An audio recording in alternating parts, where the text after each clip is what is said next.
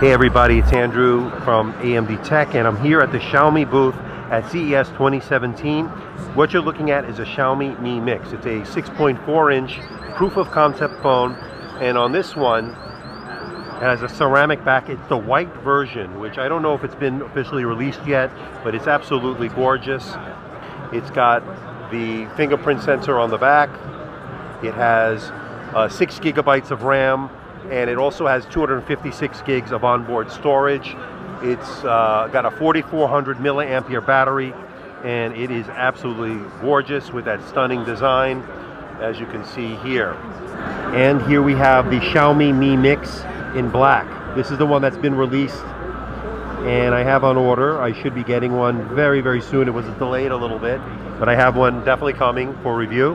And it has that gold accents. This is the 18 karat gold ceramic back and it is a tremendous fingerprint magnet. I can tell you that right now. And this phone is extremely slippery. I can tell you, handling it for the first time, this is going to be an issue.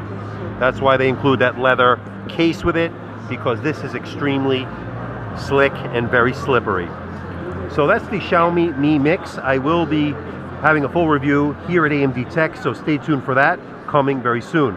So this is Andrew from AMD Tech at the Xiaomi booth here at CES 2017. I'll see you in the next video.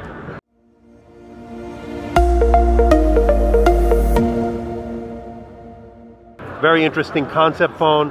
Hopefully it'll be more widespread in terms of... Oops.